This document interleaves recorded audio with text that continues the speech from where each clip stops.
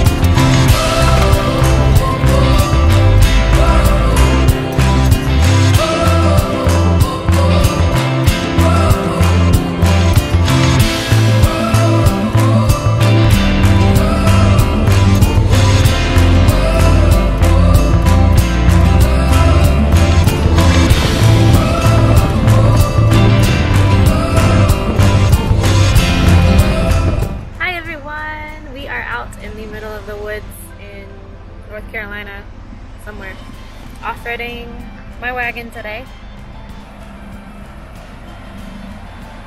So we have my wagon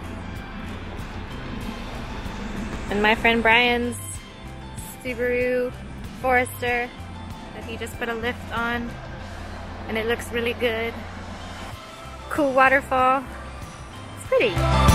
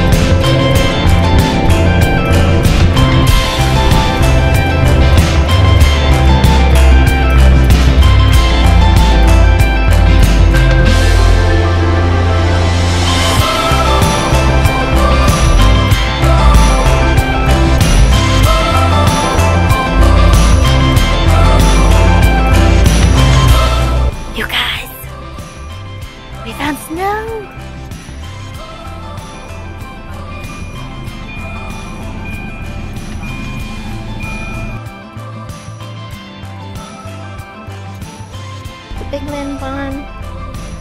Gonna get good some pictures.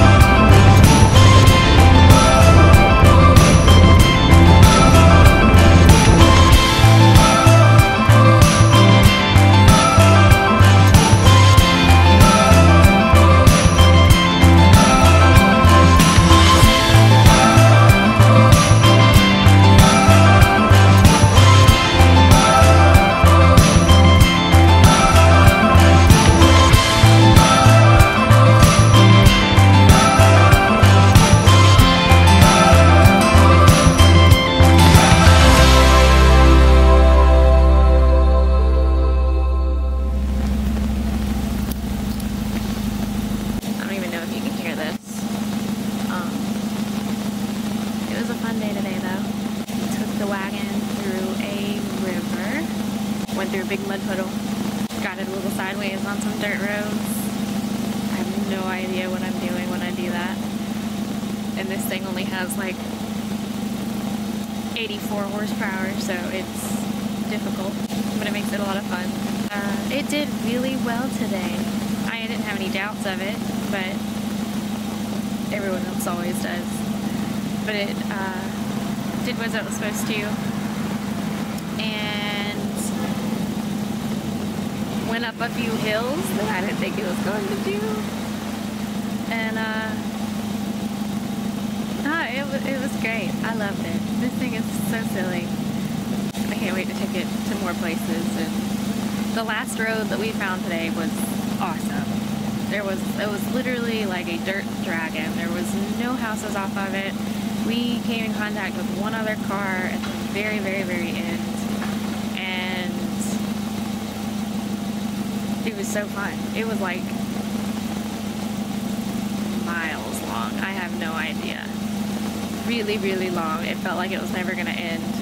Started getting dark, which was a little bit scary. But uh, it worked.